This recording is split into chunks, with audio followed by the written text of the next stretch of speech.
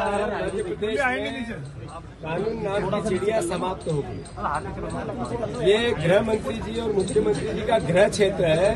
वहाँ झुकम पेजार होती है, बीजेपी में आपस में एफआईआर लिखाई जाती है कांग्रेसियों पुलिस के वीडियो विजुअल में सारे बीजेपी के लोग एक दूसरे को लात घुसे कर रहे हैं। पूर्व विधायक को पीट रहे हैं, जिसकी हम निंदा करते हैं। जनप्रतिनिधि के साथ ऐसा नहीं होना चाहिए।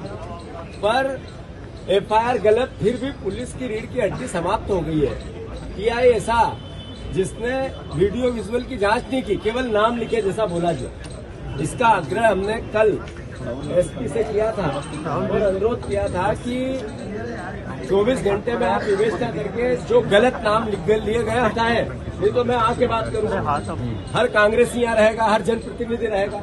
और हमने निभाया। मैं मोहन यादव जी से एक तरह से उनको चेताना चाहता हूँ कि आप प्रदेश के मुखिया हो, हमारे मुखिया हो, हमारे भी मुख्यमंत्री हो। आप पाँच साल अच्छी सरकार चलाओ और प्रदेश को तरक्की की ओर ले जाओ। आपका इस तरह का रवैया कि लड़ो आप आपस में और एफआईआर विपक्ष पे करो, ये शोभा नहीं देता आपके पद आपकी गरिमा गिराता।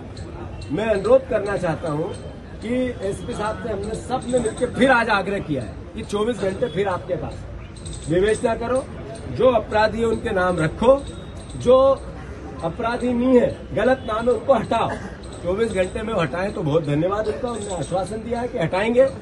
अगर नहीं हटाया तो फिर मेरा स्वभाव उनको भी पता है और मोहन यादव जी को भी पता है। यहाँ कांग्रेस का एक एक साथी पूरे प्रदेश के उज्जैन की सड़कों पर मिलेंगे। मैं आग्रह करता हूँ उनसे कि कांग्रेस के कार्यकर्ताओं को किसी तरह की यातना दोगे?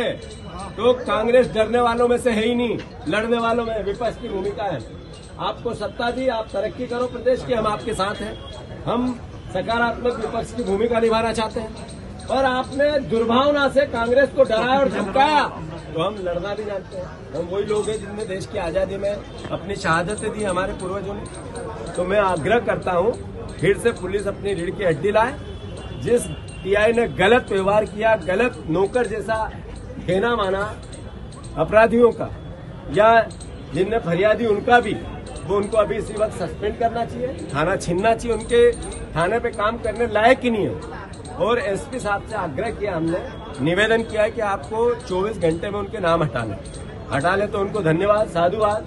सारे कांग्रेस दिन जाके उनका एक गुलदस्ते से स्वागत करेंगे कि उनने अपना काम सही किया। क्योंकि पुलिस आजकल काम भी सही नहीं कर पाई। और नहीं करेंगे तो फिर मैंने, फिर से मैं इसको किसी भी रूप में प्रशासन भी लें और सरकार भी लें और मुख्यमंत्री भी लें। यहाँ उज्जैन की सड़कों पर आपको कांग्रेसी भरे मिलेंगे।